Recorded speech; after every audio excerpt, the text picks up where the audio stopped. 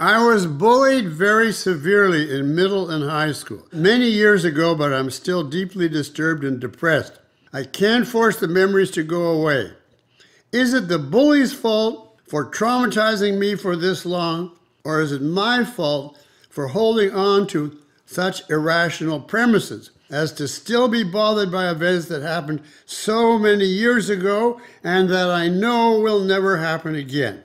Of course, I would say it is 100% uh, the bully's fault. They uh, unleashed attacks, probably physical and uh, linguistic, uh, that uh, cut you down at a time when you were helpless and relatively ignorant.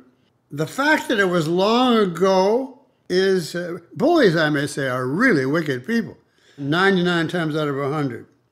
The hundredth is the guy who's a bully just because he wants to be liked by the other bullies. The fact that this is a long time ago 30, 40, 50, 60 years ago is completely irrelevant. You must have had some profound philosophic conclusion implicitly from this experience. They all hate me. I'm helpless. I'm no good. I can't do anything about it. I'm the butt of the world. I'm an outcast. How can I ever get along uh, in the world? What kind of future can I expect? In other words, a real assault on your self esteem and your view of a benevolent, uh, hopeful life and universe. That does not go away. Even if uh, there's only some incidents 20, 40 years ago that provoked it, it cannot go away unless you do something on that level. Uh, because it becomes your metaphysics.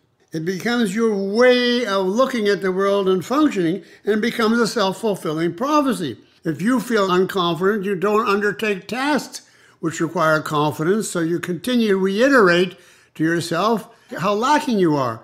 And the same if you think the world is hostile, uh, you don't venture into the world nearly as much, and so you more and more get the idea you can't get anywhere in this world. You have to get rid of these premises, get rid of these problems, but the only way you can do it is by therapy. It would be almost impossible to uproot and reintegrate in a more rational way.